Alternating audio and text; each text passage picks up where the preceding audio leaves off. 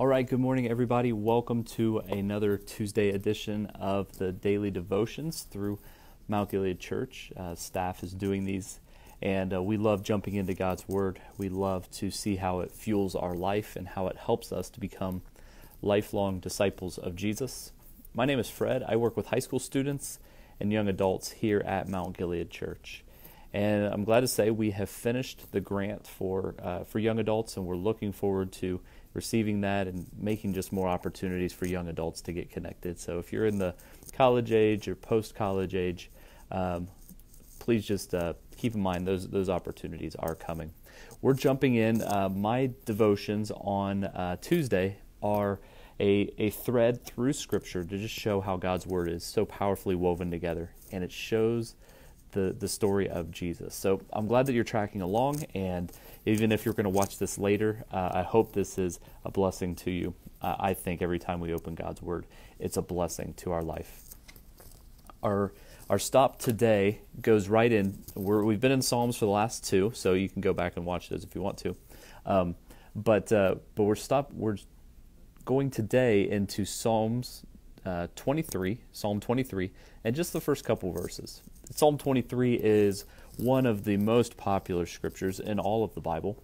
Um, it's most popular because it gets cross stitched on pillows and things like that, or you know, onto blankets and, and things that to just be a, a reminder of who God is in our life. And so it's just kind of been like, you know, a maybe even a precious moment. So my, my mom used to have a ton of precious moments. So, you know, um, it's been one of those verses, but let's not let's not misuse the scripture and see that there's so much power here uh, in Psalm 23.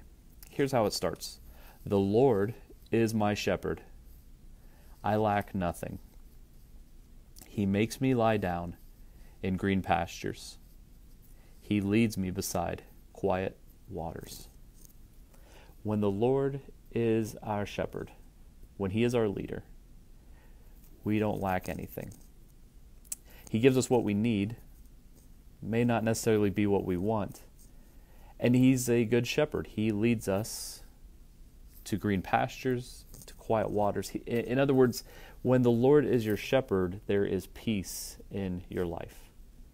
And I, I, know for me, a lot of times when I realize that there's this unrest, when there's not peace, when there's frustration after frustration, I'm going through a, se- a season where uh, there's just all this unrest. I have to take a, a step back and realize maybe I'm trying to be the shepherd instead of allowing God to be the shepherd in my life, instead of trusting Him to be the shepherd. I, I don't know about you, but I, I, tend to really like having control. When, when I don't have control over things, I start to feel unrest, I start to feel fearful.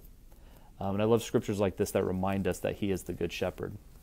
But this verse, uh, this passage points to Jesus, and Jesus actually refers to Himself as a shepherd as the good shepherd in John chapter 10. So if you if you read through Matthew, Mark, Luke and John, those four books contain the stories of Jesus and his ministry while he was here on earth.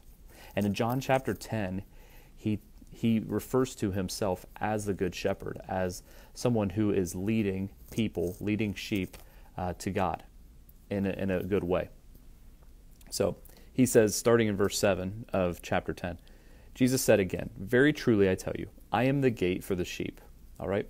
All those, all who have come before me are thieves and robbers, but the sheep have not listened to them. I am the gate. Whoever enters through me will be saved. They will come in and go out and find pasture. The thief comes only to steal, kill, and destroy. I have come that they may have life and have it to the full. And so a lot of times we think Jesus is and God is like restrictive of us. He's got all these rules and regulations, these types of things. This is actually a verse here that says, you know, the thief comes to steal, kill, and destroy. I've come to actually give you life. And the best way that I can give you life is to show you that there are there are some boundaries here, but within these boundaries there's so much freedom. There is incredible freedom.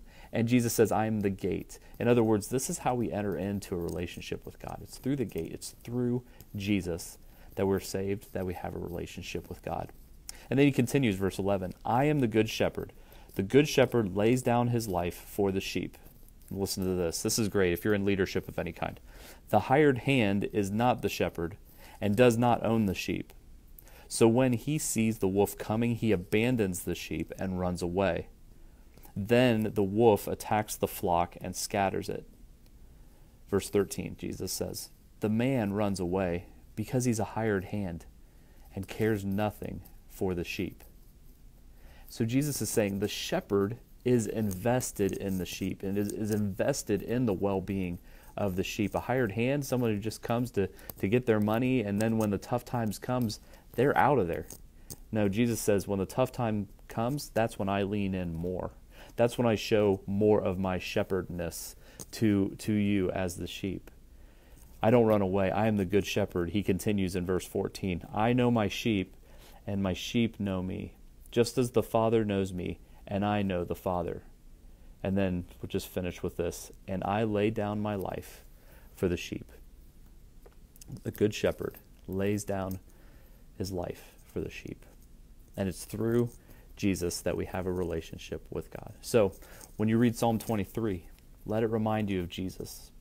Let it remind you that God is a good shepherd, that he uh, can give you everything that you need um, and not just not just maybe what you want, but he's a good shepherd that way. Let's pray. Father in heaven, thank you for this reminder from your word.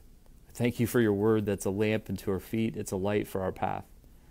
It, it reminds us when we're off track, it, it pulls us back, it shows us that you are the good shepherd. You give us everything we need, you bring peace into our life. And through Jesus, we see that um, you being a shepherd over us is one of love and one of sacrifice on your part and you're calling us to do the same. Thank you for leading us so powerfully. Thank you for being a good shepherd. We pray in Jesus' name. Amen. Well, I hope this was encouraging for you today, and we'll be back again next Tuesday with, with more uh, walk through Scripture to see how it's so powerfully woven together. God bless you. Have a great week, and I'll look forward to talking with you some in the comments. Take care.